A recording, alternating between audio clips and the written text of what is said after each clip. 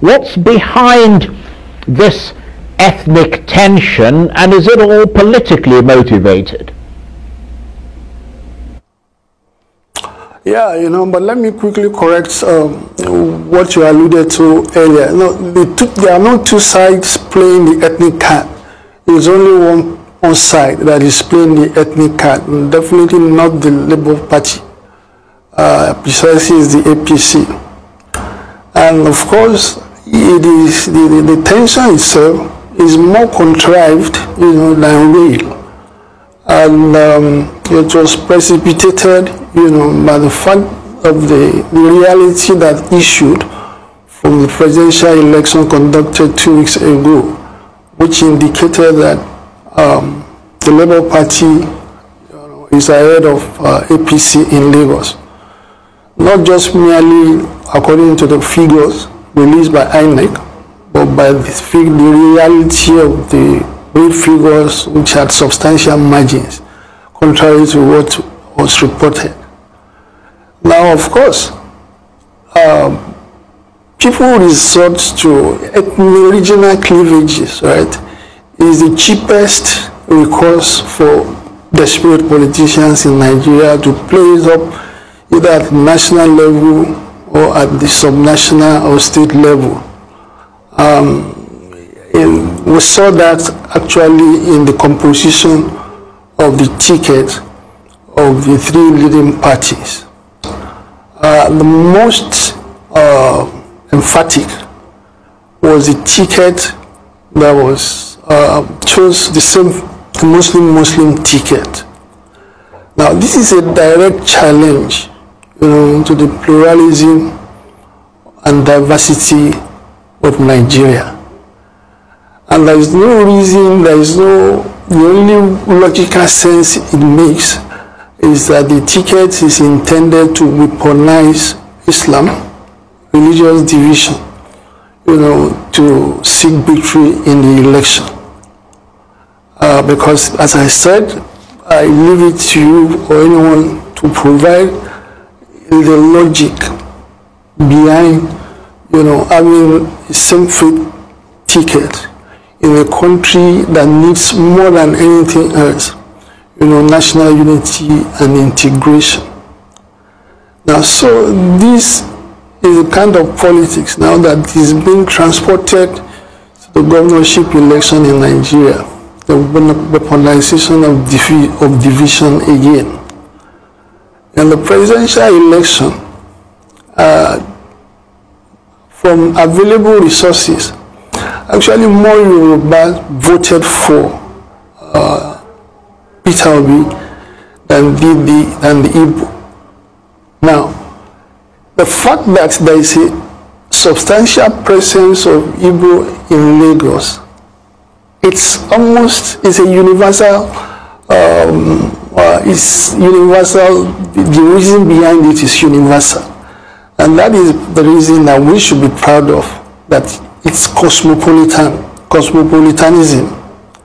Uh, everywhere in the world, and here in Nigeria itself, you see every state capital or urban centers tend to have a lot of diversity in the population. The comprising population.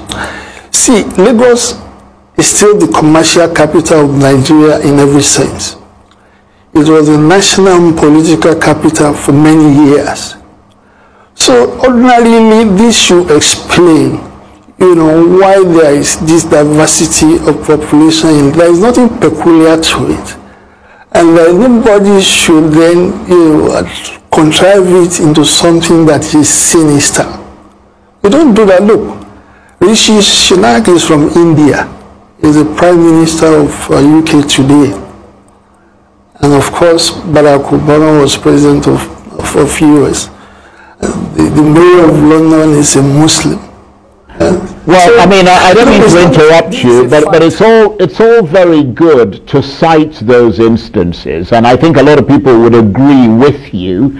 Um, but the question is, how do you think those ethnic tensions are likely to affect the governorship election in Lagos on Saturday? I mean, are we looking at all-out war, or is it quite not quite on that scale?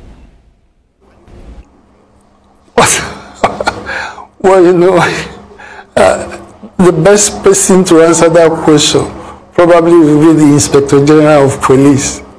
I can only speculate, you know, about the degree of tension that, but the kind of question, the person who, has, who can provide the answer to the question you have raised, you know, is, is the Chief Security Officer, that's the President, and the Inspector General, you know, they, they, they should know more about the security in Nigeria or Lagos State more than anybody. Should worry us is what I've said, uh, you know, highlighted earlier. You know, the weaponization of the resort to, you know, the weaponization of division. Uh, and as I said, it's only one side that is playing it.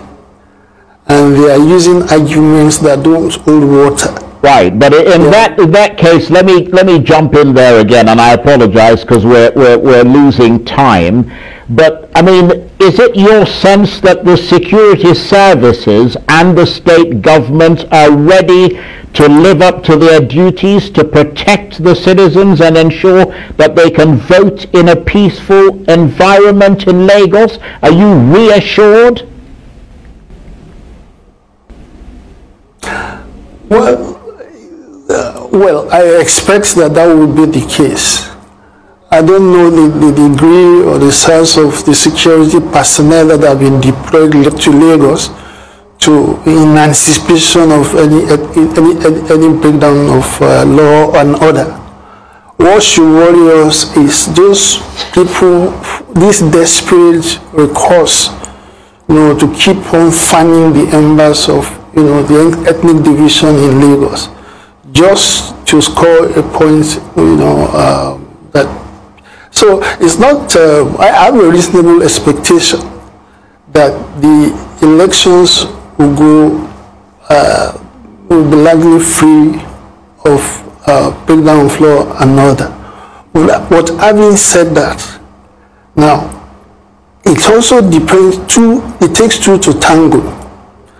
If any side of the divide is is dead set, you know, on violence because the stakes are so high. You know, there's nothing that fuels violence more than desperation. Desperation to conceal the truth, to want to hold on to what does not belong to you. So this is the case. You know, there are several aspects to security. There is deterrence, there is preventive, and then, of course, there is the actual, you know, grappling with uh, security crisis when it breaks through. The one good thing that I, I, experienced during the week was that I had a meeting with the Deputy Commissioner of um, Police Operations in Lagos. And um, he said he was on his way from Alaba, you know, where, where there is a concentration of people of um, Southeast origins. Uh, he said he went there to reassure them that they are safe and that uh, we should entertain no apprehension or fear, you know, about coming out to vote in the elections on Saturday. I was very happy about that, that they are thinking that is the kind of preventive, from that standpoint, now I can say that I reasonably expect that, you know, uh, the security situation will be um, adequately met. But you never know. As I said earlier, uh, there are some days, whatever you do, if somebody is determined to do what I mean, some kings in Lagos, for instance, and they've started saying that uh, they want to commence on a traditional ritual called the Oro, right? For three, four days, beginning from today, you know, that people should not come out between certain hours. You know, the, the, the, their timing, of course, you know, fits perfectly, you know, with the election period. And of course, you could easily see the what they are trying to do uh, with that kind of uh, suggestion. So this is, this is the extent to which we have gone you know, to introduce uh, the potential violence, you know, in, in, the country. I mean, Lagos State uh, especially. Yes, I, I can understand that. Um, but let me just make a quick point here that I understand that that declaration of Oro and the worship of Oro during the same period as Saturday's election, that that's been clarified and um, that there won't be a ban on movement during the period of the election. Um, I, I, don't know what you're hearing, but that's what, what I'm hearing, that, that that has been clarified. But beyond that, um, I'm wondering, Mr. Osuntokun, if many people, many of the Labour parties and Peter Obi's obedient movement are heartbroken after Mr. Obi came third in the official results of the presidential election, and in that regard, are they likely to give up on these governorship elections? Oh, no, no, not at all. I mean, you know, you were once young. Young, the youth, the young, people tend to be stubborn. You know, they don't give up that easily. What I've seen, and that, that, that makes me glad, is that people will see a reduction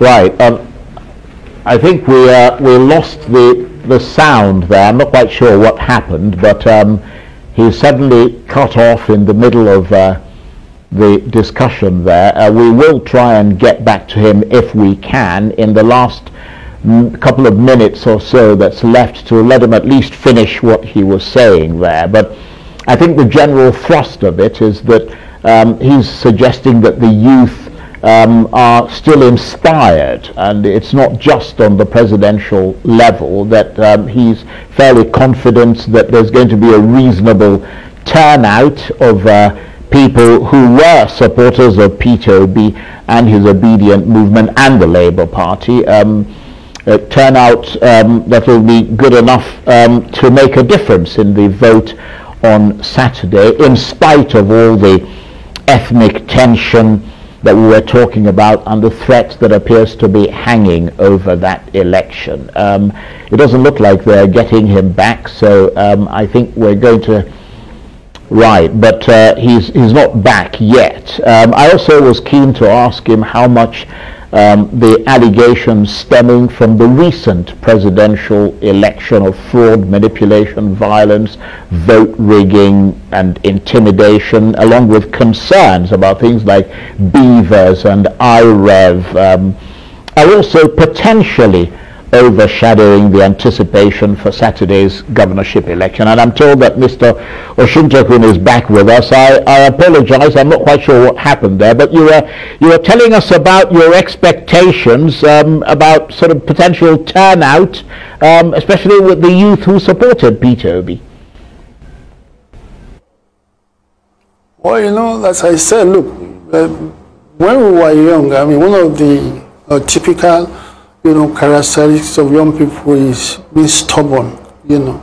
Uh, the only person who will profit, you know, from that attitude is the status quo that they want to change. And uh, these are very intelligent young guys who are determined. So they know very well that, look, they, if, they, if they allow apathy to set in, that is precisely what we don't want the aspiration. That is what that person wish for. But as I said, look, I've also, I like taking random samplings, you know, when I'm around, you know, uh, that, look, what I've observed is a doubling down, you know, on the position that they've taken at the last presidential elections. You are going to see fairly the same proportion of turnout of people who are going to vote and they're going to vote with the determination that their votes will count.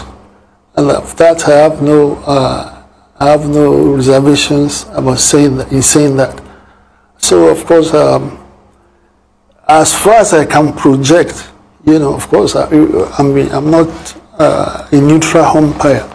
But what I, what I can see ahead, of course, is is a definite victory you know, for our candidates in the Saturday election. So that suggests that you don't have concerns about things like BVAS and IREV um, and, you know, all those kinds of INEC issues potentially overshadowing um, the, your, your sort of an- positive anticipation for the governorship election on Saturday. I was going to say that when you are trying to explain why we lost uh, communication, that we were experiencing the same thing as INEC server, you know. But I don't, uh, I, I, well, I, I've always told people that look, I have no reason to give the INEC the benefit of the doubt in what in whatever they want to do. I, I like to be pleasantly surprised by doing something good. I said that before the presidential election, and it turned out they confirmed the worst of the fears of cynics. You know, allocating 12 states to, to the three parties.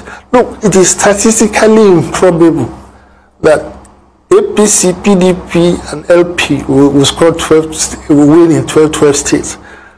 But you can use it, you know, to pursue an intellectually fraudulent argument. So from this INEC, from the perspective of INEC, I live with their public servants, but my opinion of them is very low. And uh, I have every reason to have that kind of opinion. Uh, look, even the resident electoral commissioner here, you know, had a, quite a terrible pedigree in what he did and when he was in Osun State, uh, when he oversaw the Osun State governorship election in, in 20, um, 2019 or thereabouts. We called several times. A lot of people said, look, this man, we don't change this man. You know, it's bad news for Lagos State, but he's still there. So if we have those kind of people all over the place, and of course, You're, going to have to live with that. Um, but in those circumstances, you've expressed your optimism that you potentially will really shake up the political landscape in Lagos on the governorship level. So we'll have to watch and see. Um, I apologize for interrupting you, Mr. Osuntokun, but we are actually out of time. And Akin Osuntokun is the Director General of the Labour Party's Campaign Council, and he was talking to me there from